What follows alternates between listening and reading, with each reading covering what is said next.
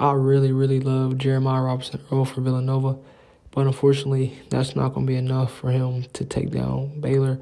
MaCio Teague, Davion Mitchell, Jared Butler, they're just too deep, too talented, and they're going to the Elite Eight.